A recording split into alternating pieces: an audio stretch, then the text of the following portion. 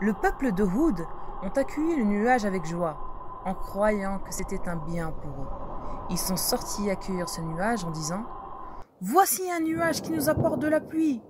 Nous avons invoqué nos divinités et ils nous ont répondu. Mais ceci, c'est le châtiment d'Allah qui commence. Voilà que le vent s'intensifie. Une tempête de vent violent, un vent glacial. Le vent emportait tout ce qu'il y avait devant eux. Le vent emportait même des gens dans l'air et les jetait par terre et les têtes se détachèrent de leur corps. Mes très chers frères et sœurs, Assalamu alaikum wa rahmatullahi wa barakatuh. Bienvenue sur votre chaîne YouTube. Je remercie Ousseinoukis d'avoir choisi l'histoire de Houd salam et de son peuple Ad. Allah a élu Adam salam comme père de l'humanité. Puis, Allah a élu Nuh salam comme le deuxième père de l'humanité. Il ne resta que les descendants de Nuh et il resta que des gens croyants. Ils se sont multipliés de nouveau et ils ont commencé à se dissiper sur terre. Et les diables ont continué à essayer d'éloigner les hommes du chemin d'Allah. Houd salam était le fils de Shalek, fils de Arkfakshad, fils de Sem, fils de Nuh. Cet arbre généalogique a été établi par Ibn Jarir. Il était issu d'un peuple appelé Ad ibn Aus, ibn Sem, ibn Nuh. Ce peuple était d'origine arabe et habitait à Al-Ahqaf, des montagnes de sable situées au Yémen, entre Oman et Hadramout, une région qui donnait sur la mer. Leur vallée s'appelait Mourith. Ils habitaient le plus souvent des ombelles soutenues par des grandes colonnes, comme a dit le Très-Haut. N'as-tu pas vu comment ton Seigneur a agi avec les aides, avec Iram, la cité, à la colonne remarquable, Surat 89, versets 6 et 7 c'est-à-dire les aides d'Iram, les premiers aides. Quant au second aide, ils viendront après comme nous le verrons dans son contexte. Les premiers aides, eux, ce sont eux dont a parlé le Coran. Iram, la cité, a la colonne remarquable dont jamais pareille ne fut construite parmi les villes. Surat 89, versets 7 et 8. Le peuple des premiers aides fut le premier à adorer les idoles après le déluge. Ils avaient trois idoles principales. Sada, Samouda et Harah. Allah envoya alors parmi eux leur frère Houd qui les appela à Allah, comme l'a dit le Très-Haut après avoir mentionné le peuple de Nuh et ce qui lui arriva dans la sourate Al-A'raf. Et au Had, leur frère Houd, Ô mon peuple, dit-il, adorez Allah. Pour vous, pas d'autre divinité que lui. Ne le craignez-vous donc pas? Les notables de son peuple qui ne le croyaient pas dirent Certes, nous te voyons en plein sottise, et nous pensons que tu es des nombres des menteurs. Il dit Ô mon peuple, il n'y a point de sottise en moi, mais je suis un messager de la part du Seigneur de l'univers. Je vous communique les messages de mon Seigneur, et je suis pour vous un conseil digne de confiance. Quoi? Vous vous étonnez qu'un rappel vous vienne de votre Seigneur à travers un homme issu de vous pour qu'il vous avertisse? Et rappelez-vous quand il vous a fait succéder au peuple de Nuh et qu'il y a accru votre corps et en hauteur et puissance. Eh bien, rappelez-vous les bienfaits d'Allah afin que vous réussissiez. Ils dirent Es-tu venu à nous pour que nous adorions Allah seul et que nous délaissions ce que nos ancêtres adoraient? Faites donc venir ce dont tu ne menaces si tu es des nombres des véridiques. Il dit vous voilà frappé de la part de votre Seigneur d'un supplice et d'une colère. Allez-vous vous disputer avec moi au sujet de noms que vous et vos ancêtres avez donnés, sans qu'Allah n'y fasse descendre la moindre preuve? Attendez donc, moi aussi j'attends avec vous.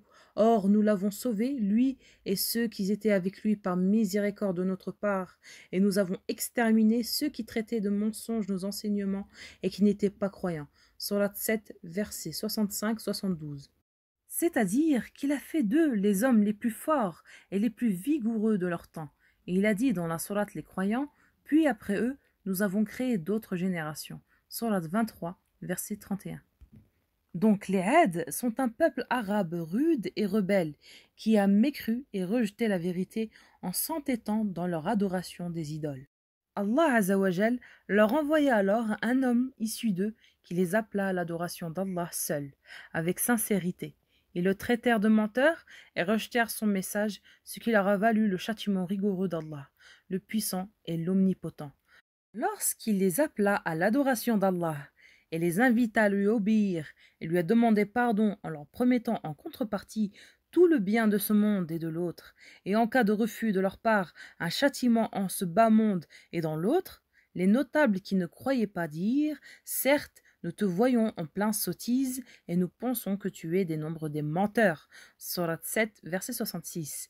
C'est-à-dire que ce message auquel tu nous invites n'est qu'une sottise par rapport à ce que nous adorons comme idole dont nous espérons aide et subsistance. En plus de cela, nous croyons que tu es un menteur. Il dit Ô mon peuple, il n'y a point de sottise en moi, mais je suis un messager de la part du Seigneur de l'univers. Je vous communique les messages de mon Seigneur, et je suis pour vous un conseiller digne de confiance. 7, verset 67. Communiquer un message implique certes la sincérité et la vérité de celui qui est tenu de le communiquer tel quel sans ajouter quoi que ce soit, ni en supprimer. Ce faisant, en sa qualité de messager d'Allah et de le transmettre ses paroles. Le prophète Houd avait un, à cœur de guider son peuple sur la voie droite sans attendre quoi que ce soit de sa part, ni salaire, ni autre chose, car son salaire n'incombe qu'à celui qui l'a envoyé et qui tient dans ses mains toutes les richesses de ce bas monde et de l'autre que de la part de celui qui possède ce qui est nuisible et ce qui est utile. C'est pour cela que le croyant de Yassine a dit Suivez ceux qui ne vous demandent aucun salaire et qui sont sur la bonne voie. Et qu'aurais-je à ne pas adorer celui qui m'a créé? Et c'est vers lui que vous serez ramenés. Surat 36, versets 21-22.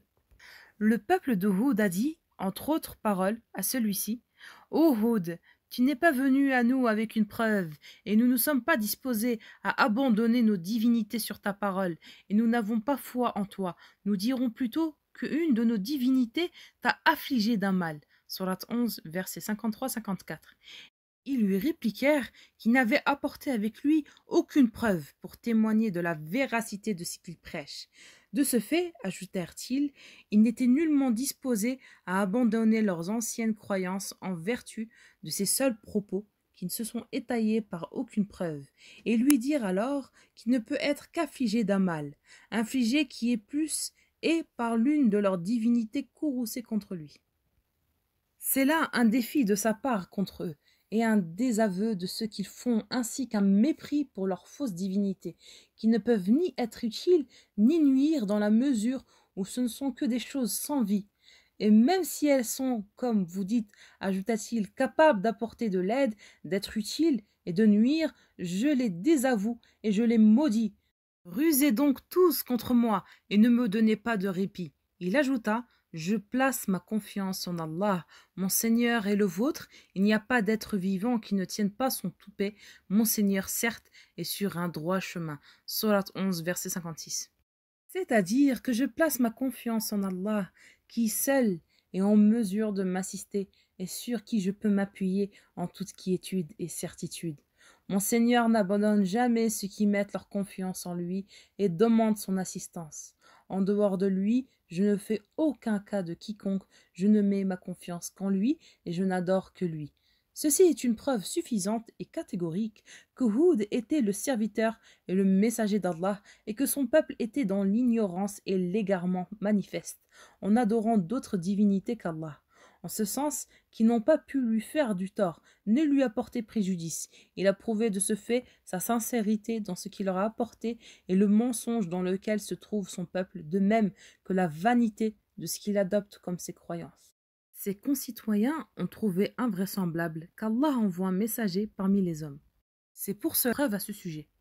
Et voilà que les concitoyens de Houd lui ont dit es-tu venu nous imposer d'adorer Allah seul, en délaissant nos divinités et celles de nos ancêtres? Si tu es véridique dans ce que tu avances, fais venir ce dont tu nous menaces comme malheur et châtiment. Quant à nous, nous ne te croirons pas en toi, et ne te suivrons pas quoi que tu nous apportes. Ils ont dit, comme l'a rapporté dans le Coran, que tu n'exhortes ou pas, cela nous est parfaitement égal. Ce ne sont là que des mœurs des anciens. Nous ne serons nullement châtiés. Surat 26, versets 136-138. Et Houd salam leur dit Vous avez mérité et justifié l'infamie et le châtiment qui ne tarderont pas à s'abattre sur vous. Allez-vous mettre au même pied d'égalité l'adoration d'Allah, l'unique, qui n'a pas d'associé avec l'adoration de divinité que vous avez vous-même créée et qui vous avez donné des noms sans qu'Allah n'y fasse descendre la moindre preuve? Il ajouta Attendez donc, moi aussi j'attends avec vous, c'est-à-dire le châtiment d'Allah qui est devenu maintenant inéluctable et qui ne saurait être stoppé ou jugulé. Les exégètes citent dans cette optique le récit rapporté par Mohammed ibn Ishaq ibn Bash'ar qui dit Lorsqu'ils refusèrent obstinément de croire en le messager de Houd, Allah les priva de pluie durant trois ans, jusqu'à ce qu'ils soient épuisés.